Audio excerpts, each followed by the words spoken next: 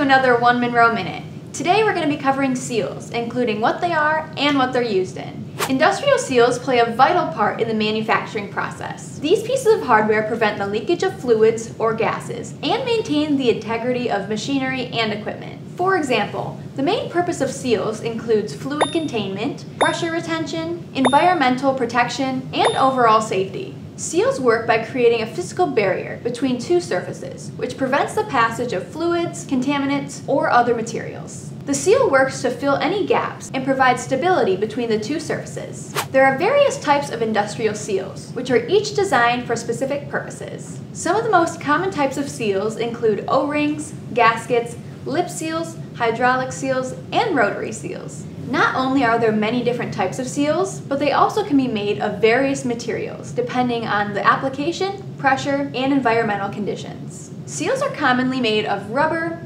plastics, metals, ceramics, thermoplastics, and fiber materials. Seals are used in a wide range of industries due to their crucial role in ensuring the efficiency and safety of various processes and equipment. Of course, they are used in various machinery in the manufacturing industry. Some of these include hydraulic presses, injection molding machines, and conveyor systems. In the automotive industry, seals are used in engines, transmissions, and axles. They're also used in water and water treatment in pumps, valves, and filtration systems. The food and beverage industry also utilizes them in mixers, packaging systems, and various other equipment.